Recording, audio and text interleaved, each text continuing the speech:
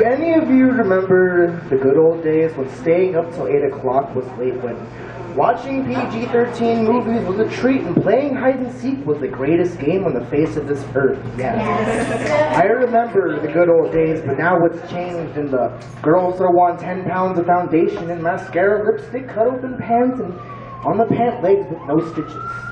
Throw themselves on football jocks and still get called ugly? Why? Is it the insecurity that she isn't beautiful like the girls her boyfriend watches on the computer screen? The actors he sees on the TV? Do you honestly have to look like supermodels? Overdose on diet pills with stress on full throttle? That's honestly awful. And guys, stop telling your friends how much sex you have and stop saying you're a monster down south because you already know it's a lie.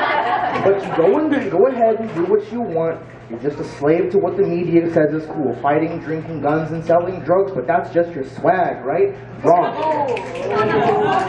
Someday you'll end up in prison. Your vision was rich and big booty bitches. In a two-story house with a brand new Lambo and Rolls Royce, but got caught because your choice was to not work for it.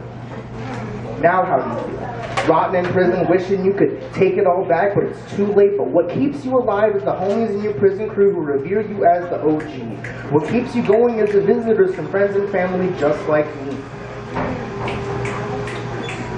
Do you remember the good old days? When you had some freedoms and playing hide and seek wasn't dangerous at all? Do you remember yourself before gangs and bangs of shop dealing pop pills and crack? Do you remember life before it all? Just like what people call Satan, your OG claimed it was trouble-free. The promise of money was great. The job described itself as easy. One, two, three. A what's up, slapping handshakes and exchange money. You banned, you got it.